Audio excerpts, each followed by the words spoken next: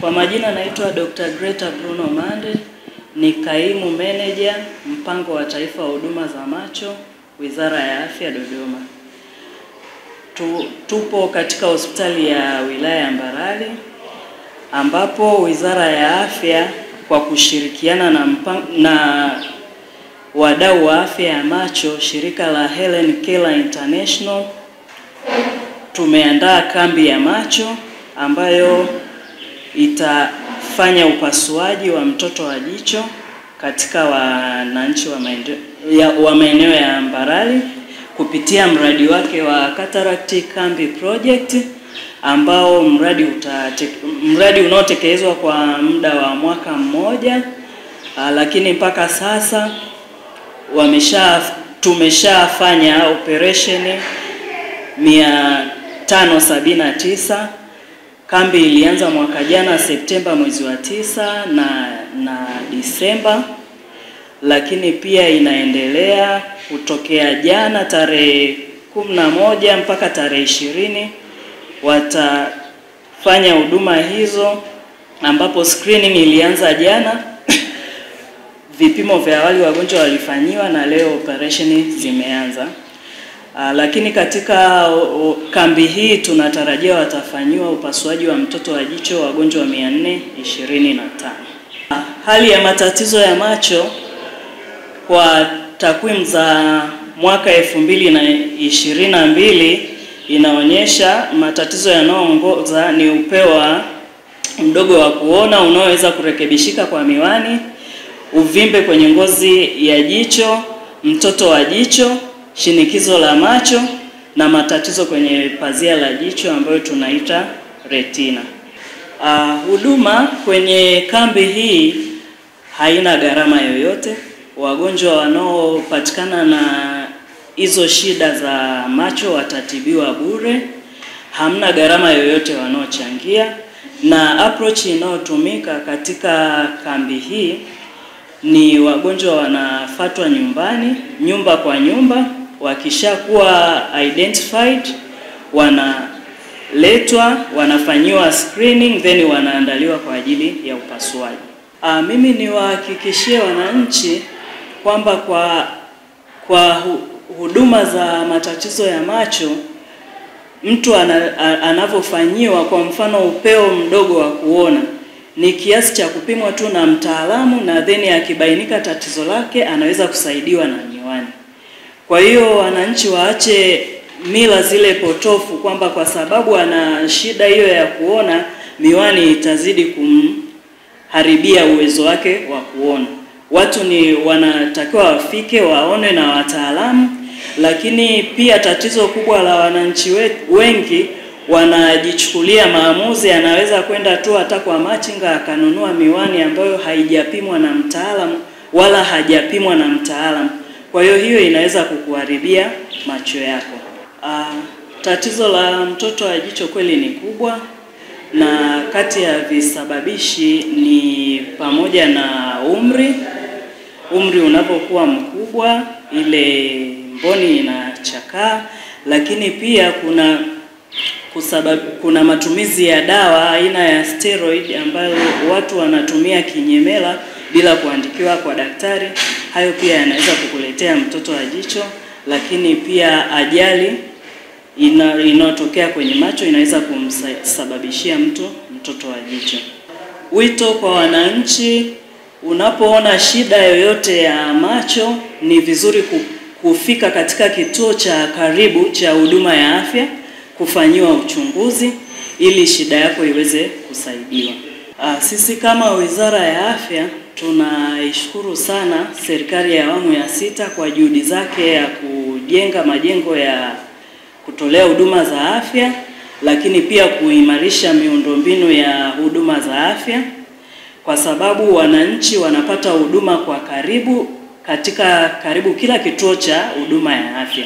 Lakini zaidi tunatoa shukurani zetu kama wizara kwa kuwezesha huduma kama hizi tembezi ambazo Wizara ya Afya kwa kushirikiana na na wadau wa afya ya macho wanazitoa kwa karibu zaidi kwenye jamii. Kwa mfano kama hii kambi inayofanyika hapa wilayani Mbarali.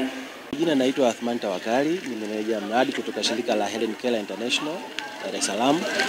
Uh, tupo hapa leo katika hospitali ya wilaya ya Mbarali kutoa huduma ya matibabu ya mtoto wa jicho kwa wananchi wa Mbarali, na tupo hapa tukishirikiana na Wizara ya Afya uh, pamoja na timu ya wataalamu kutoka hospitali ya kanda ya Mbeya, lakini pia timu ya wataalamu kutoka hospitali ya mkoa ya rufaa ya Mbeya na wataalamu wetu ambao ni wenyeji wetu katika hospitali ya Mbarali, na tupo kwenye mradi huu wa kuwasaidia wananchi kutoa matibabu ya vikope ambao umeanza tangia mwaka jana 2022 mwezi wa sita, tulitambulisha rasmi pale mkoani Mbeya na tayari tumeshaanza kutoa matibabu, na kwa mwaka jana pekee tuliweza kufanya kambi mbili kubwa.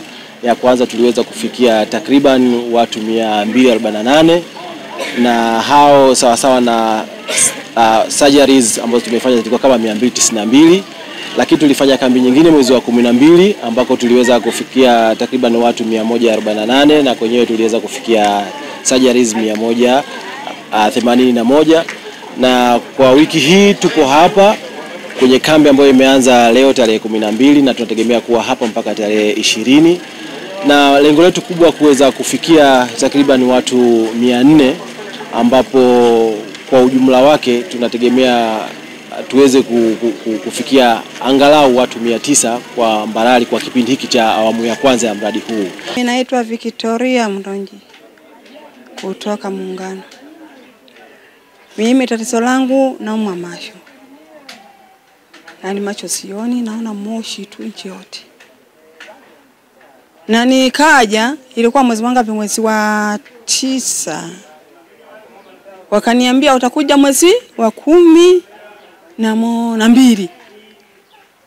Kweli leo hii nimeshafika, na niliambiwa kwamba ni bure. Kweli nikajua ni wamaskini wangu huu, kweli ni kama ni bure, ngoja niende, sina chochote hivi. Mimi ilibakia mimi nitambae, sina chochote wala wakuku wala nini nyumbani, kama unavyoniona.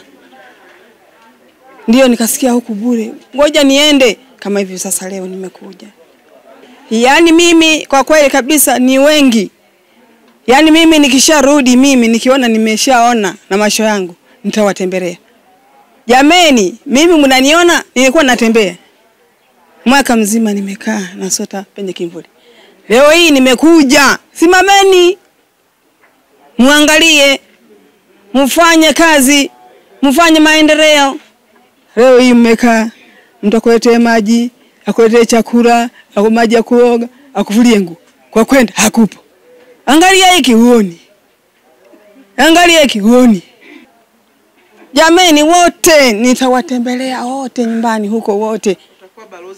Yaani mimi nitakuwa barosi, naenda nasema kama wewe utaki basi. Mimi nimeenda kule ni bure, nilikuwa nashindwa kwenda ile mbura. Kwenda wapi? Yaani ni maskini, nashindwa. Wananiambia jisho moja shilingi ngapi? Basi ngoja nitambage hivi hivi. Unakula na paka inakuja inakula. Jameni, mbona pale kwa hapa na nyama hapa? Mmenipa mchuzi tu. Mama, tulikupa na nyama. Mbona mchuzi tupu jameni? Kumbe limekula lipaka. Wenyewe wameingia ndani. Wanaanza kumwaga. Haya, mmoja nakaa hapo hapo. Unaanza kula na nyama ile na nyama ile. Anaanza kuondoka. Mimi nawashukuru. Mungu awaweke na ukipofu unatibika. Asikudanganye mtu kusema kipofu hatibiki, anatibika.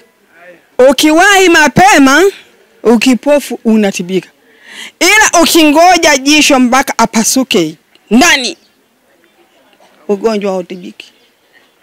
Hata ugonjwa tu, kama we ni mgonjwa, kama umezidiwa, wanakupeleka kule, kufika hunywa hata dawa, unasema sibitali ile sio sibitali, kipindi umeshelewa mwenyewe.